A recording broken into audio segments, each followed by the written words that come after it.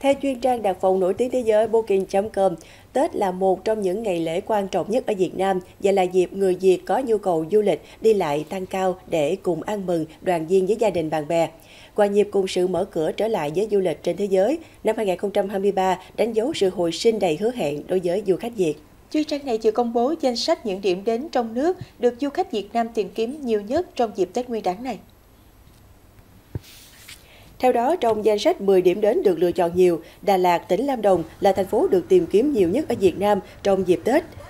Tiếp đến lần lượt là Nha Trang, tỉnh Khánh Hòa, Vũng Tàu, Bà Rịa Vũng Tàu, Đà Nẵng, Phú Quốc, tỉnh Kiên Giang, thành phố Hồ Chí Minh, Hà Nội, Sapa, Lào Cai, Mũi Né, Phan Thiết, Quế, Thừa Thiên Quế. Theo dự báo du lịch năm 2023 của chuyên trang này, 75% du khách Việt sẽ chọn du lịch như một cách để chữa lành sức khỏe tinh thần, chuyển hóa sức khỏe, hoặc đạt sự cân bằng vào những thời điểm quan trọng của cuộc sống.